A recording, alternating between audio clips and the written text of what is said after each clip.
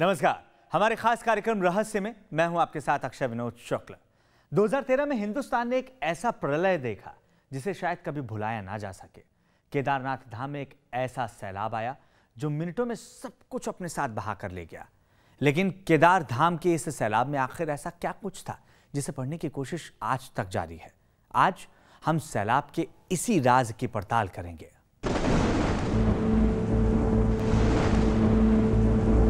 उस दिन उत्तराखंड में हिमालय की चोटियों पर बादल बाकी दिनों से तेज गरज रहे थे। उस दिन हिमालय पर हिंदुओं के सबसे बड़े तीर्थ, केदार धाम में बारिश की रफ्तार भयावह होती जा रही थी। उस दिन समुद्र तल से तीन मीटर ऊपर, केदार धाम के आसपास के कई किलोमीटर के दायरे में दिन में ही रात का एहसास होने लगा था।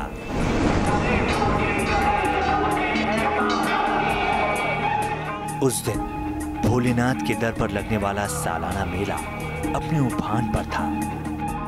केदारनाथ के दर्शन का त्योहार अपने मध्य में था। और तभी मंदिर के ऊपर से लाखों गैलन पानी का सैलाब आया। शिव मंदिर के शिखर से दो मंजिला लहरें उठी। जो अपने रास्ते में आने वाले तिनके से लेकर पहाड़ तक को बहा ले गई। इस सैलाब के बाद केदार धाम के अटल मंदिर का राज भक्तों को हैरान करने लगा। तो तीन दिन और तीन रात की मूसलाधार बारिश और मानसून ने वैज्ञानिकों को भी चौंका दिया। उसी सैलाब के राज की पड़ताल के लिए हमने रुख किया उत्तराखंड में केदारनाथ का। हम इस वक्त गोरीकुंड से कुछ ऊपर ही हैं। इस बार हम पड़ताल करेंगे, केदारनाथ में आए प्रलय की। केदारनाथ में जो प्रलय आई, उसकी आशंका न तो विज्ञानियों को थी और न ही उसके भक्तों को। ये अपने साथ एक ऐसी तबाही लाई कि 16 जून की रात और 17 जून की सुबह लगभग एक सैलाब तबाही के साथ आया। लेकिन इस तबाही का क्या रहस्य था हम पड़ताल करते हैं। इस रहस्य में केदारनाथ में आई बाढ़ की। वो साल था 2013 और महीना था जून का। लेकिन उस साल मानसून का व्यवहार जाना पहचाना नहीं था। अरब सागर और बंगाल की खाड़ी में बने दो मानसून समय से पहले सक्रिय होते देखे गए। और मौसम विभाग ने खुशखबरी जारी कर दी। इस बार बारिश तय वक्त से पहले होगी। मौसम विभाग मानसून पर नज़र जमाए रहा, लेकिन बादलों ने विज्ञान को कच्चा दे दिया। बंगाल की खाड़ी से उठे जिन बादलों ने 14 जून को पूर्वी भारत में दस्तक दी थी, वो अचानक ही सुस्त पड़ गए। और फिर जाने ऐसा क्या हुआ कि अगले ही दिन 15 जून को हज़ारों किलोमीटर दूर उत्तर भारत तक आ पहुँचे। कुछ ऐसा ही अरब सागर से उठे मानसून के साथ हुआ, जिन बादलों ने हिमालय का रुख किया। और दो विपरीत मानसून एक दूसरे से जा टकराए। महीना जून का था। जब मानसून का दूर दूर तक कोई ठिकाना नहीं होता चार धाम की यात्रा आधी बीत चुकी थी। और केदारनाथ, बद्रीनाथ से लेकर यमुनोत्री, गंगोत्री में पैर रखने तक की जगह नहीं थी। जितने लोग चार धाम में जमा थे, उससे ज़्यादा रास्तों में फंसे थे।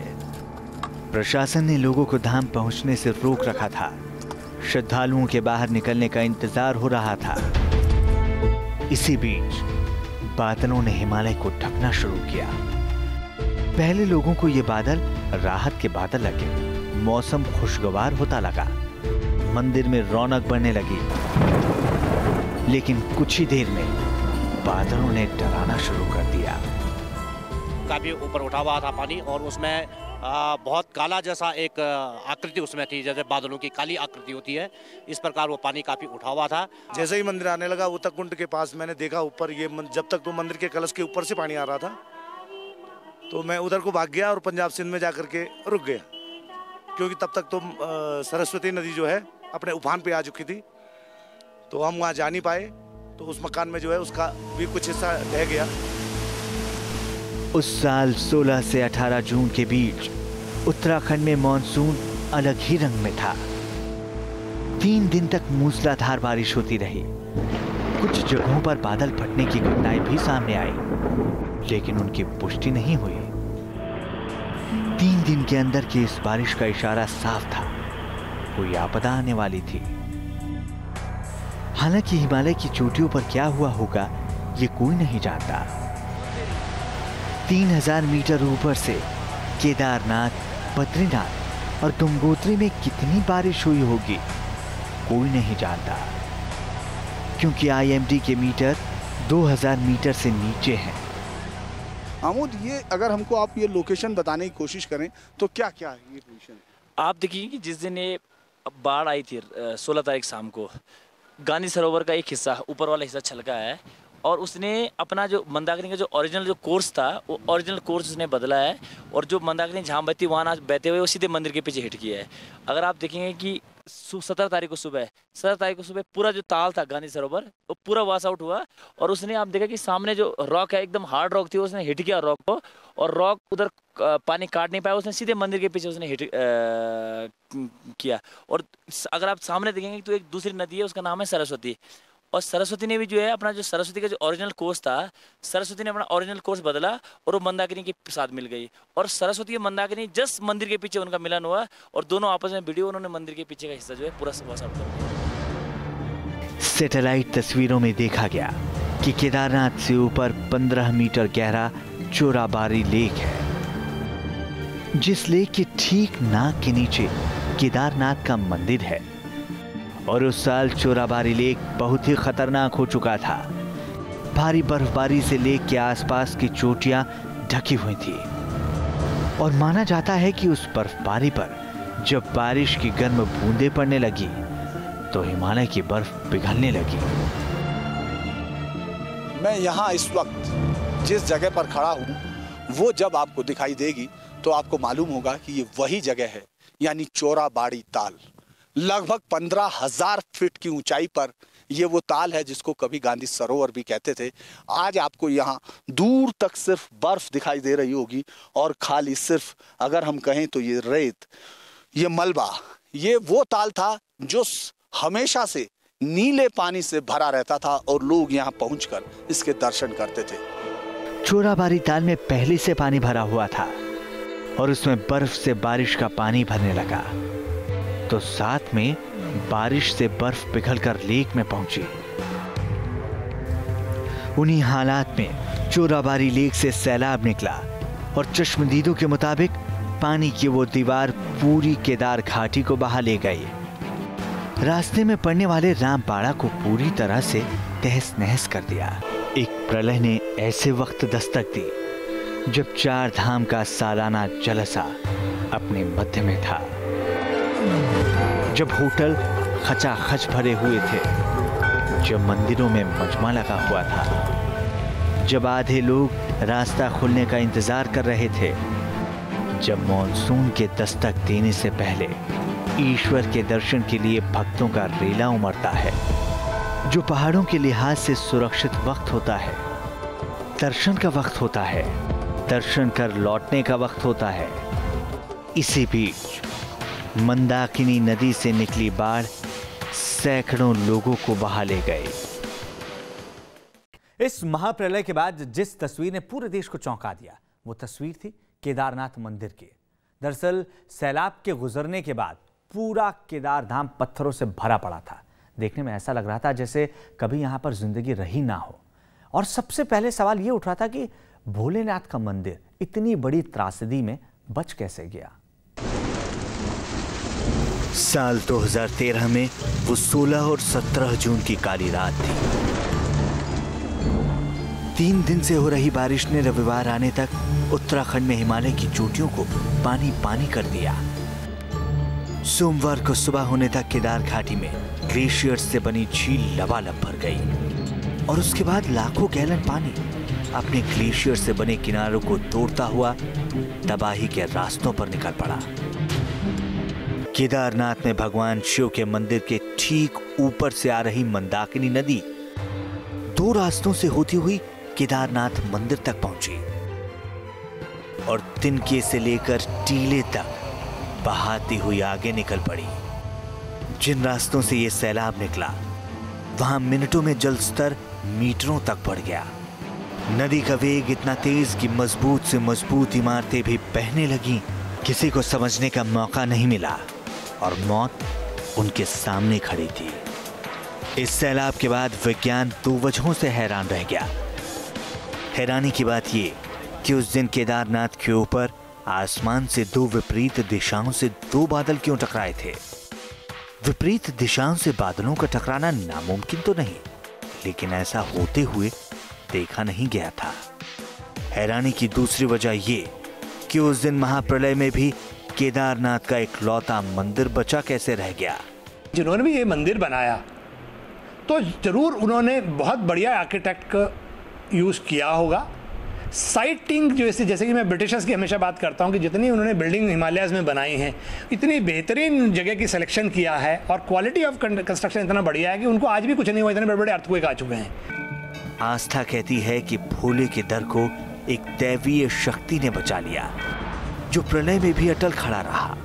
विशेषज्ञ कहते हैं कि सैलाब को एक चट्टान ने दो धाराओं में बांट दिया जिसे मंदिर तक पहुँचने से पहले ही उसकी ताकत खत्म हो गई। क्या वाकई? केदारनाथ से 500 मीटर ऊपर हिमालय पर दो दिशाओं से बादल टकराए थे। क्या दो बादलों के टकराने से मूसलाधार बारिश हुई थी? और क्या वाकई? बारिश से बर्फ़ पिघले और चोराबार लेक का पानी बाँध तोड़कर बाहर आ गया। खास पेशकश जारी है। बने रहिए न्यूज़ नेशन के साथ।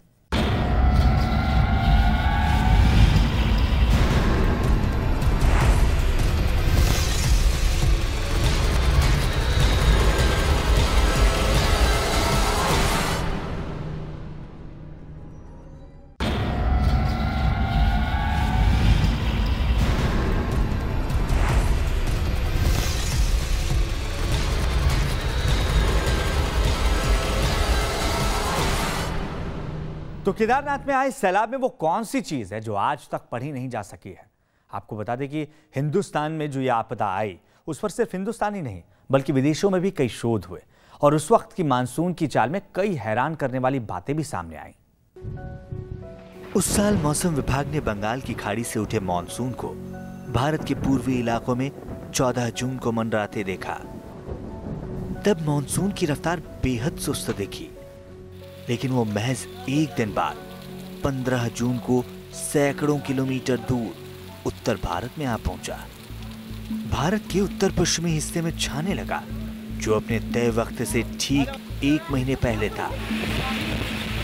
भारतीय मौसम विभाग आईएमडी की घोषणा के मुताबिक, मानसून को 30 जून को तय वक्त से पहले दिल्ली पहुँचना था। लेकिन चंद दिनों में मानसून ने जो रफ्तार दिखाई वो पूरी तरह से अचानक था। मौसम विभाग ने ठीक उसी वक्त अरब सागर में भी एक सिस्टम को बनते और चलते देखा था। दो दिशाओं से आए बादल हिमालय के ऊपर आकर टकराए। और इसके बाद शुरू हुई घनघोर बारिश।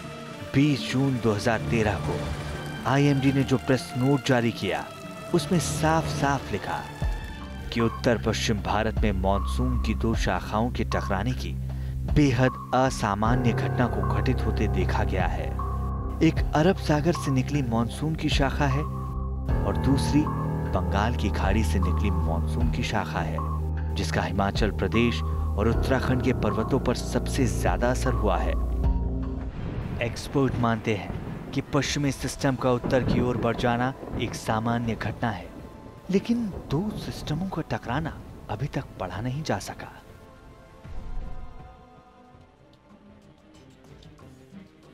इसरो के नेशनल रिमोट सेंसिंग सेंटर ने हैरान कर देने वाली एक और जानकारी दी। भारी बारिश से पहले केदारधाम के ऊपर भारी बर्फबारी हुई। माना जा रहा है कि बारिश का गर्म पानी जब बर्फ़ पर पड़ा होगा तो बर्फ़ तेज़ी से पिघली होगी और ग्लेशियर की झील से पानी का बाहर आना शुरू हुआ होगा। धीरे धीरे उसी धार ने बाँध को तोड़ दिया होगा और केदार धाम में सैलाब आ गया होगा। हालाँकि उस वक्त की तस्वीरों ने इस थ्योरी को और उलझा दिया। एनआरएससी ने जो तस्वीरें खींची, उसके मुताबिक मंदाकिनी से 20 किलोमीटर दूर केदारनाथ और सोनप्रयाग के बीच एक लैंडस्लाइड का पता चलता है। जून 2013 के महीने में पूरे हिमालय में एक जगहों पर लैंडस्लाइड की घटनाएँ मिलती हैं, लेकिन ये कोई नहीं जानता कि उस दिन हिमालय खिसका था, या बादलों का कहर टूटा था। आखिर कुदरत ने केदार धाम को तबाह कर देने के लिए इतना ज़ोर क्यों लगा रखा था? कुछ तस्वीरों में केदारनाथ से 50 मीटर ऊपर भी भूस्खलन देखा गया, लेकिन ये कोई नहीं जानता कि इन दावों के बीच कौन सा दावा प्रलय की तबाही के सबसे करीब है? कोई नहीं जानता कि जुलाई में आने वाले बादल जून में ही कैसे उमड़ पड़े। कोई नहीं जानता कि अरब सागर से एक महीने पहले ही सिस्टम कैसे चल पड़ा। कोई ये भी नहीं जानता कि हवा का रुख कुछ और होने के बावजूद दो विपरीत दिशाओं से बादल कैसे टकराए। कोई नहीं जानता कि उस दिन चोराबारी ग्लेशियर के मुहानों को बारिश के पानी ने पिघला दिया। या किसी लैंडस्लाइड ने उसका आधार खिसका दिया। कुदरत ने सिर्फ़ इतना बताया कि चोराबारी ग्लेशियर से लाखों गैलन पानी निकला और सब कुछ तबाह कर दिया।